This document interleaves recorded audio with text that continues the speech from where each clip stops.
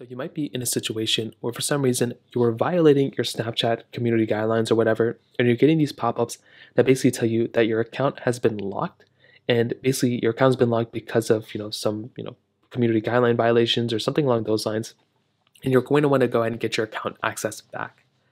Now, if you're getting this type of pop-up, the very first thing I recommend doing for the most part is to appeal the decision.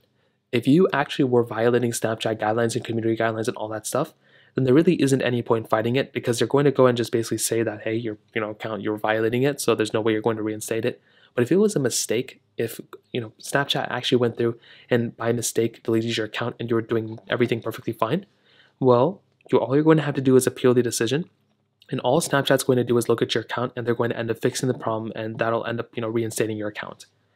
Now, if you do that and that's still not working, what you can actually do is if you look on Snapchat's I can't access my account page, if you just Google Snapchat I can't access my account, you'll see this particular panel and it will go and tell you that, you know, a little option right here, it'll tell you that my account is locked.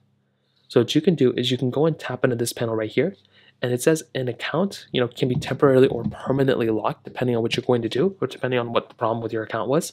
And it says if you attempt to log into Snapchat and you see a message or yada yada yada, it'll tell you that you know if you're violating those particular you know terms of service or whatever, that they're going to go ahead and basically ban your account from there. Now they do say for more information about what can happen or why you may have been locked, please go here.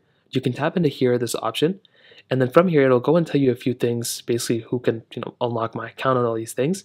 If you look here, it says, you know, if you see a message on Snapchat, you can tap, you know, to appeal basically, or you can unlock it yourself by going into Snapchat accounts, you know, website. So if you go to accounts.snapchat.com, which is right here, you can make your way over to this website. If you log in with your particular Snapchat account, what you can also do is it'll go ahead and bring you into this page. And what you can do here is you can go and basically, you know, unlock your account by finding that little unlock panel. So those are the main ways to go and fix this problem for the most part. If you have any other thoughts or questions, let me know in the comment section below. Hit the like button, that would mean so much, but definitely hit that subscribe button. More importantly than everything else, I love every single one of you guys. Hopefully I'll catch you guys in the next video.